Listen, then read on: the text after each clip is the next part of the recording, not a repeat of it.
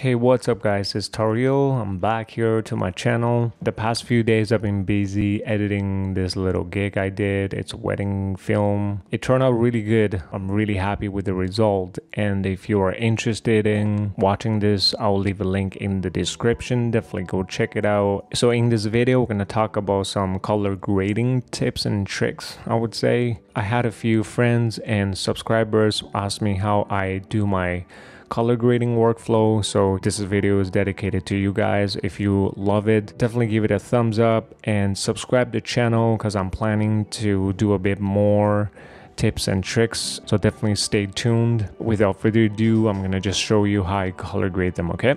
First, I color grade my footage with Color Finale. So if you don't have this, definitely go check it out. I'll leave a link in the description. This plugin is totally worth the investment and it saved my life so many times and it's so easy to use. Second thing I want to mention before you color grade your footage is before you color grade a footage, you want to make sure first your exposure level is right. Okay, it's not like too much overexposed or underexposed because it's just a little bit pain in the butt to you know do a whole bunch of tweak to your image. So a lot of these shots I did it myself. So when I did it I want to make sure my my picture profile is flat and second you want to make sure your white balance is good okay? So the white balance is a headache I used to have a lot is that I bring back my footage and it's too uh, uh, you know too blue or too too red.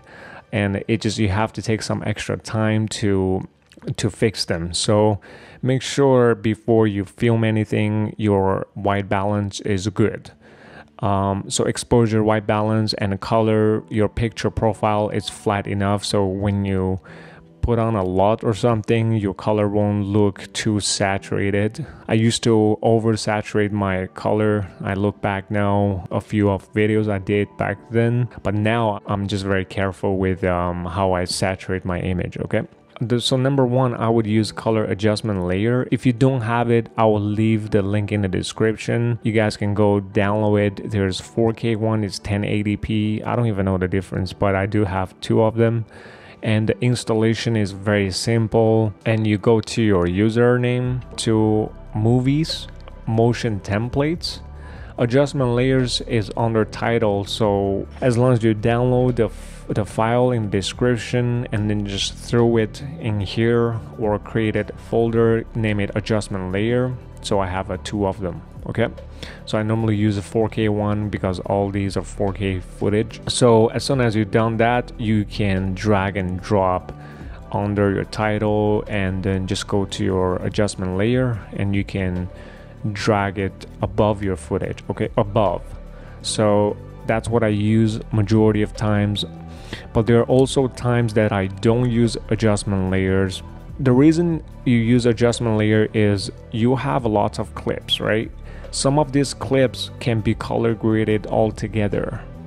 So there's no point of dragging the plugins into this clip and copy paste the attributes on Um, onto every single one of them. I used to do that. So there's no way to do that. Easier way to do it is just put on adjustment layer. You put the color on this adjustment layer and you can simply drag okay drag the length. And you determine let's say if i want to color grade it all these three clips together I can simply just drag it there you know what I mean? So adjustment layer it does make your life easier. If you have it great. If you don't have it you can go find it in the description. I will link in below. If you guys have a newer version of Final Cut Pro X and um, there is a built-in color grading tool I'm going to show you guys the workflow behind it because each color grading it might be different. Okay let's find one part of this clip. I feel like this is the part. This is before this is after. So you can see I have another one here. It's his friends. So this is before and this is after the way I treat these clips are pretty simple. So the first one, without touching the adjustment layer, you can come to this clip and click on command 6 and 7. so you can open up these two windows and we're not going to use this window so if you click control command 1 you can hide it for now so that's flat image profile so I want to make sure my exposure is right in this case there's still a bit of little room I can I can tweak on the shadow part so you can see the bottom of this Luma wave. By the way, you can switch to different waves here. I've used um, RGB overlaid, I've used waveform. Again, what I do, these are just a workflow, is that I want to make sure my Luma, the bottom, you see there's these kind of peaks of these waves. I want to make sure they just barely touch zero. I want to make sure they barely touch zero, okay? Not like cross over but just like very close barely touching the zero. And then that's my shadows. And highlights okay? Majority times you want to bump it up until this top okay this peak of these waves they are touching or barely touching or very close to 100 okay that's how i treat majority of my clip. However in this case my my background is pretty white okay? So again this picture the waves is translated here. So these are actually these. So my background is this a cloudy day. I could technically bump it up but I'm just gonna overexpose it if I did so. So I like to stick around in about 75 to 80 range and then I would I would color grade it on top of that. Again, this is a preparation phase is that you just want to make sure the clip you're working on, um, the exposure level is right. And the next step I do is I throw on this adjustment layer. I would double click or drag and drop um, color finale onto my adjustment layer. So we're just gonna open up uh, color finale.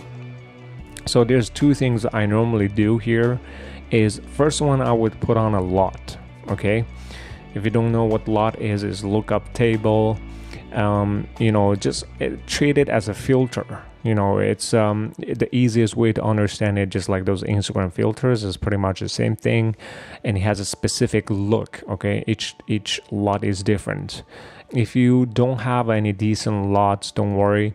I will give you guys a couple of them for free it's uh, the link will be in the description. You guys can definitely go click and download it. I do have a full pack which uh, comes with a whole bunch of LUTs and uh, that's paid version. If you're interested in definitely go check it out too. If you do not know how to install the LUTs it's super simple.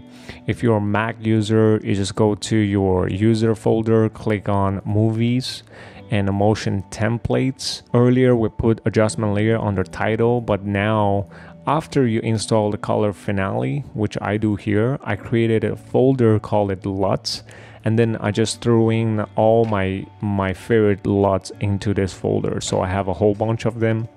The way to apply these LUTs is um, you want to click on LUT utility and then you can pick a specific folder, okay? Create a folder and pick that specific folder. Once you open it, you click on show here and it will show you how they look like okay? Um, again if your image itself is already good pretty much all the LUTs you throw on uh, they give that little bit of that um, style okay? This is kind of like style phase. In this case what i did is i put on the first LUT utility here the third knob over here and then what i did is i just applied a LUT. Once you put it on, you can see it started to change. The color already changed already. It looks pretty nice. Okay, it looks pretty decent, pretty nice. However, if you come to opacity here, I normally I wouldn't go even close to 100 because that's just too much. Again, you're gonna go in the zone of oversaturation. I made a whole bunch of mistakes. Um, oversaturate my image at the beginning and um, it's kind of painful lesson. So what i do is i normally just go to zero and I would look at the image i would slowly bump it up. I would slowly swipe it swipe it until there is really obvious and then i would back up a little bit. So normally i would go about you know 60 70% range. It depending on the LUT you know some LUTs are lighter and darker. So I would totally go around 60 to 70 range. That looks pretty good.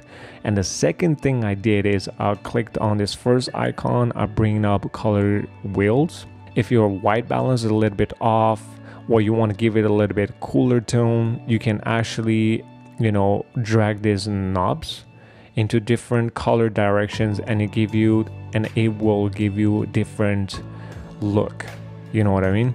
So that's pretty much what i wanted to cover to you guys. Okay?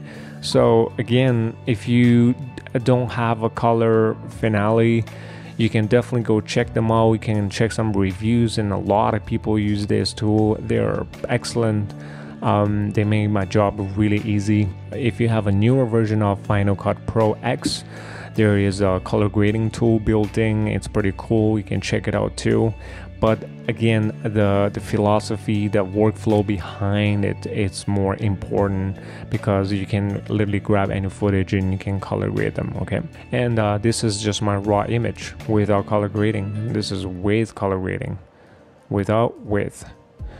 Um, anyways you guys can definitely go check out this video and if you um, spot on anything you want to learn or you want to know how I did it you can definitely leave a comment in below I can make some future videos around it and uh, that's just pretty much how I color grade my footage. Again, thank you guys for being here and uh, to watch this video. If you picked up some nuggets, really good for you and if you have any questions definitely commenting below. Give it a thumbs up and subscribe the channel for future content.